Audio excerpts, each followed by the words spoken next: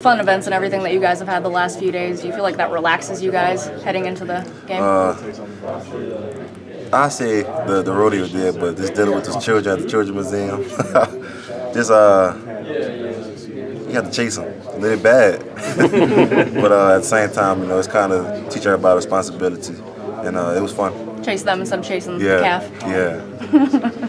What's been your favorite event this week in Houston? I say the uh, the Children's Museum. It was fun, man. Uh, just give back to those kids, and uh, just knowing that they look up to you, they idolize you. And uh, I had a fun, bla- I had a blast with them. Was your daughter here? Was she able to go? She's at home. You know, she's chilling right now.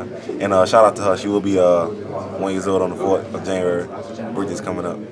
She won't be here tomorrow, will she? Nah, the she'll watch it on TV. Probably. Or she's just probably riding on the car, chilling.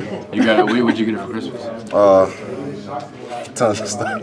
Little car? Yeah, she yeah, she got three cars actually. Three? Yeah, three of them. You know, uh, not everybody's not even.